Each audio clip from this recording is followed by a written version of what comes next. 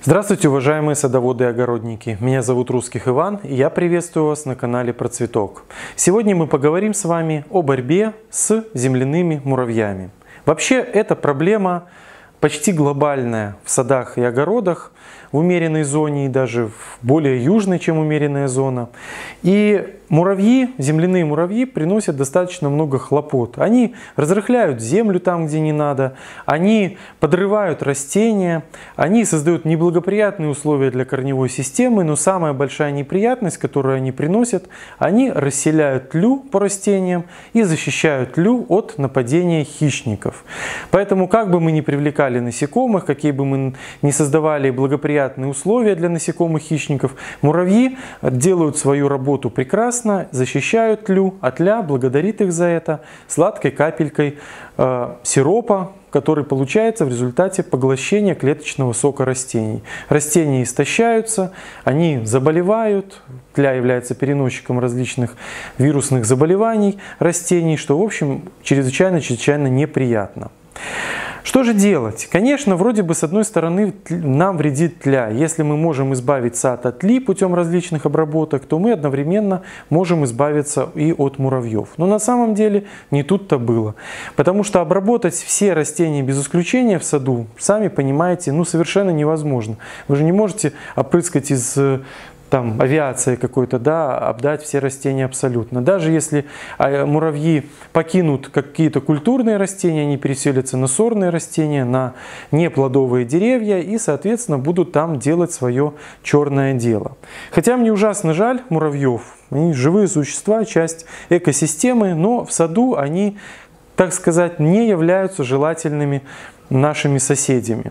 Существует много советов по поводу того, как побороть муравьев. Есть экзотические, есть более-менее разумные. Это и рассыпать пшено, это э, поливать настоем апельсиновых корок или даже рассыпать сами корки. Вроде бы даже это эффективно.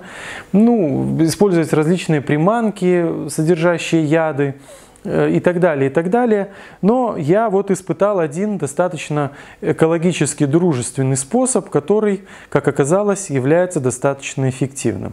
Дело в том, что в арсенале биоинсектицидов имеется целый ряд инсектицидных препаратов, созданных на основе такой бактерии, которая называется Bacillus thuringiensis. Эта бацилла чрезвычайно эффективна при борьбе с колорадским жуком, при борьбе с различными листогрызущими насекомыми, также при борьбе с мотыльками, совками и так далее, их личинками, при борьбе с тлей тоже достаточно эффективен этот препарат. Но и вот как-то было очень мало информации о том, эффективен ли этот препарат при борьбе с муравьями. Все-таки муравьи это несколько иная история, чем большинство вредителей а, садов и огородов.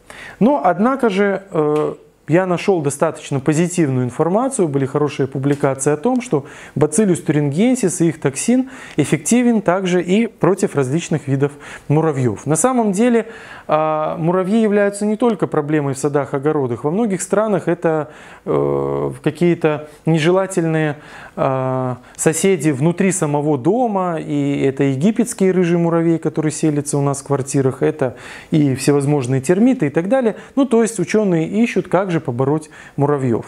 И я решил испытать вот такой вот препарат, который называется битоксибацилин на муравьях. Что я сделал?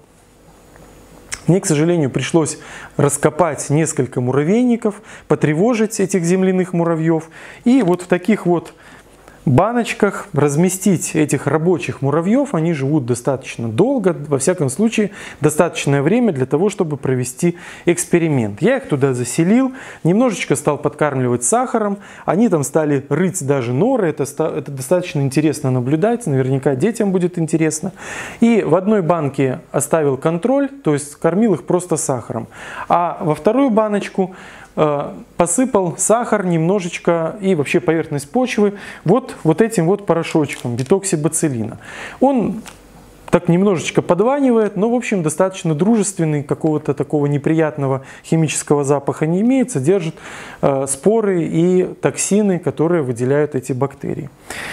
Ну, что я могу сказать? Конечно, мне очень жалко муравьев, но не прошло и пяти дней, как все муравьи рабочие погибли. Конечно, семья муравьиная организована достаточно сложно. Там есть матка, которая плодит этих рабочих муравьев, которые как раз ухаживают за тлей и собирают э, эту э, росу, так сказать, которую выделяют тли сладкую, и носят ее в муравейник, кормят других муравьев. То есть там такое сельское хозяйство очень сложное у них.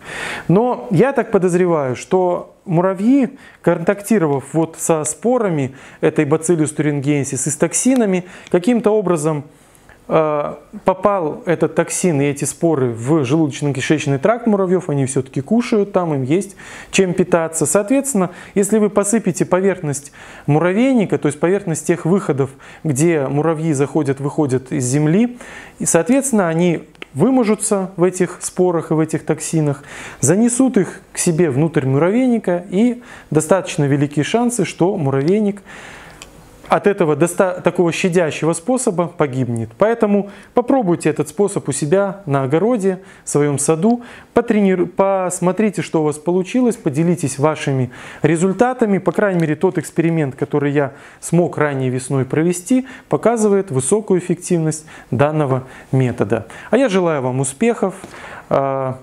В том числе в борьбе с вредными насекомыми и другими вредителями. А, пользуйтесь биологическими средствами защиты, они эффективны от широкого спектра вредителей.